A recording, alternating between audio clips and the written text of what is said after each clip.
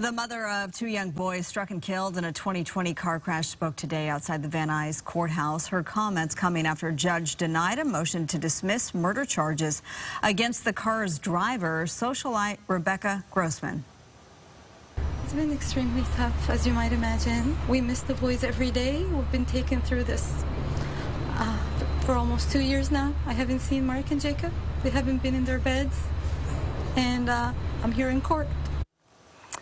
11-year-old Mark Iskander and 8-year-old brother Jacob were killed in a Westlake Village intersection in September of 2020. Grossman, co-founder of the Grossman Burn Foundation, is accused of hitting the boys at 70 miles per hour before stopping about a quarter mile away.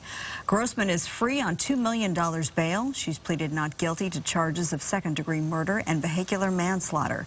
If convicted, she faces 34 years to life behind bars. A trial is likely to begin in 2020. 23.